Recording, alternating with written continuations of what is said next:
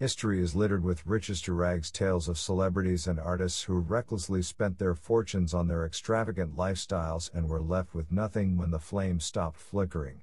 It's also full of cases in which people only achieved fame and financial success posthumously, earning millions after their deaths but still dying penniless and in relative obscurity.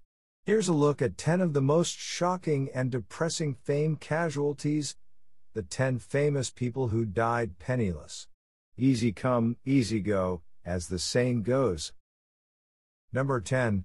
Sammy Davis Jr., 1925 to 1990. Sammy Davis Jr. was a legendary showman.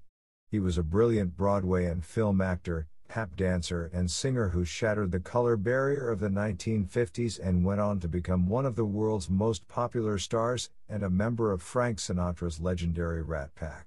However, despite earning an estimated $50 million during his career, by the time he died from throat cancer on May 16, 1990, the great entertainer was over $15 million in debt. This was partly due to his declining popularity in the late 60s, and partly due to his struggles with substance abuse. But mostly, like so many riches to rags celebrities, Davis had been living beyond his means, he was making money but spending it even quicker, building up huge amounts of debt from which he would never escape. Number 9. Joe Louis, 1914 to 1981. Joe Louis held the heavyweight boxing title from 1937 to 1949, which is the longest reign in heavyweight boxing history. It also made Louis one of the greatest and most popular American fighters of all time. However, his sporting successes didn't bring him financial security. Despite estimated career earnings of $4.6 million, Louis only received around $800,000, of which much was spent on presents to friends and family, donations to the U.S. Army, and bad business investments. The IRS also regarded the money earned from the boxer's charitable bouts as taxable earnings and continued to pursue him after World War II. Having fallen on hard times, Louis was reduced to performing as a wrestler and worked as an official greeter at the Caesars Palace Casino in Las Vegas. In the years leading to his death by the cardiac arrest on April 12, 1981, Louis suffered a physical breakdown, induced by cocaine, and was later placed in a psychiatric hospital for five months, while suffering from severe paranoia and the belief that there was a plot to destroy him. Number 8. Judy Garland, 1922 1969. Judy Garland is most famous for her role as Dorothy Gale in the light-hearted 1939 classic movie The Wizard of Oz, but her personal life was one long parade of disasters, both emotionally and financially. Billed as the girl next door, she didn't have the typical glamorous Hollywood leading lady looks, which led to producers extensively altering her appearance. This no doubt contributed to a lifetime of insecurity and depression, as well as her struggles with drug abuse. By the late 1940s, she had become increasingly difficult to work with, often arriving late or not at all. As years wore on and Garland's financial situation became precarious, she turned more and more to television appearances. Her personal life was also going downhill, with the breakup of both of her early marriages leading to a number of suicide attempts. Garland died on June 22, 1969, of an accidental barbiturate overdose. By the time of her death, she was heavily in debt to the IRS. Number 7. Bela Lugosi, 1882 1956. Bela Lugosi transitioned from a brilliant career in Hungarian theater to being Hollywood's got horror villain appearing as a diabolical mastermind in movies like the 1931 version of Dracula, Son of Frankenstein, and White Zombie. For a generation of filmgoers, in the 1920s and 1930s, Lugosi was the embodiment of all of the horrors of the silver screen. However, typecasting affected the actor badly, limiting him mostly to roles as gothic villains. Lugosi's accent, which was a huge part of his image, also held him back. He was also plagued by substance abuse and issues related to a change of management at his company, Universal, which, for a time, entirely dropped its line of monster movies. By the 1950s, Lugosi's star had sunk so low that he was living in poverty and was reduced to appearing in Ed Wood's Plan 9 from Outer Space, a Z-grade clunker widely regarded as one of the worst films ever made. The actor died of a heart attack on his couch at his Los Angeles home on August 16, 1956. He was 73 years old. Number 6. George Best, 1946 to 2005. George Best's tenures with Manchester United and Northern Ireland are still remembered as legendary passages in the annals of British football. A natural genius winger, Best was famous for his ability to penetrate the defenses of his opponents. On May 15, 1971, he scored one of the most famous goals of his career against England.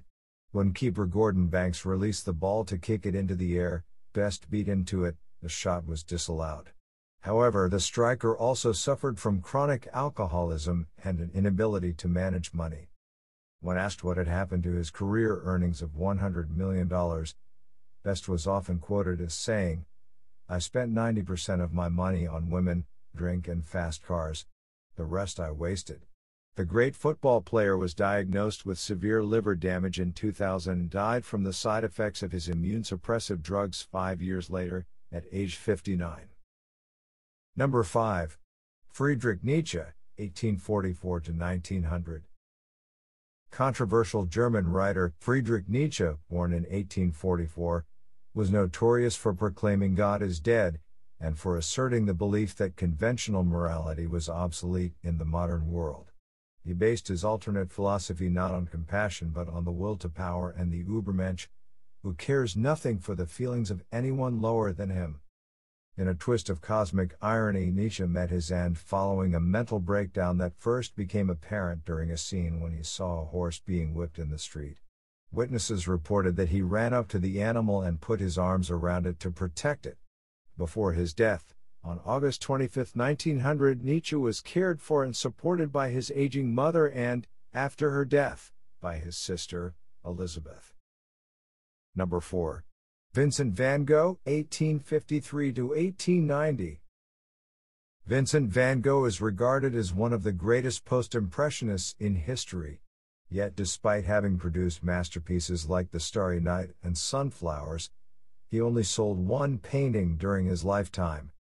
The artist frequently struggled with money and produced much of his most famous work in a lunatic asylum. Believed to be suffering from a bipolar disorder, Van Gogh was hampered by a nervous disposition and frequently experienced depression, paranoia, and hallucinations. In one famous instance in 1888, following a heated row with French painter Paul Gauguin, Van Gogh removed his left ear with a razor and handed it to a prostitute. On July 27, 1890, Van Gogh attempted suicide, shooting himself in the chest. He survived but died two days later from the wound. Bizarrely, no gun was ever found. Van Gogh died pennilessly. His masterful work gained him praise and notoriety only after his death. Number 3. Oscar Wilde, 1854 to 1900. Oscar Wilde is one of the most celebrated literary figures of the 19th century. As a poet and a writer, Wilde was famous for his cutting wit, Secretly, however, he was living a double life. He was involved in liaisons with many younger men, including male prostitutes and Lord Alfred Bosie Douglas.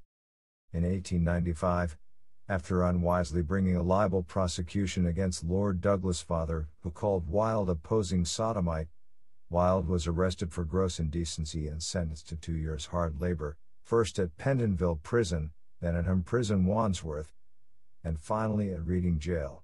After his release, he fell into a depression, and his literary output declined.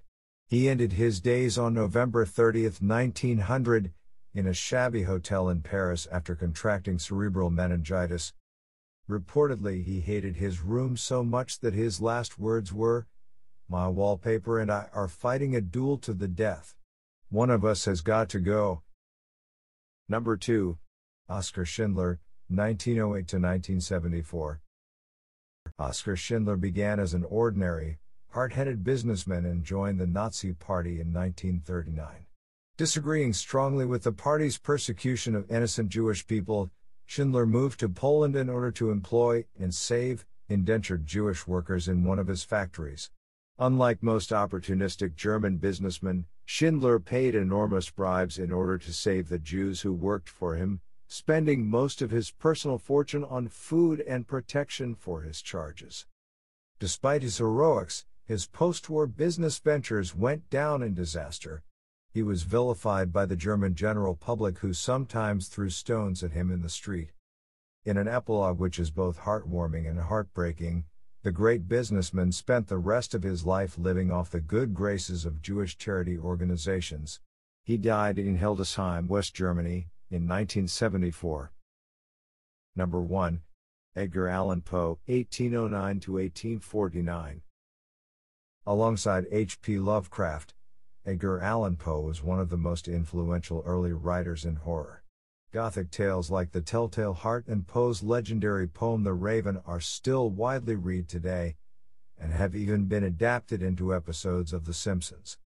His master detective C. Auguste Dupin was a forerunner in the literary genre, informing Arthur Conan Doyle's work almost 50 years before Sherlock Holmes picked up the magnifying glass. Despite this, Poe's life was a constant struggle to make ends meet. He was unable to hold a regular job at the Southern Literary Messenger due to his prickly personality and struggles with alcoholism. And despite The Raven making him a literary sensation, he was paid only a few dollars for its publication. He died in 1849 after collapsing in Baltimore. Much like his eerie narratives, the cause of his death is steeped in mystery.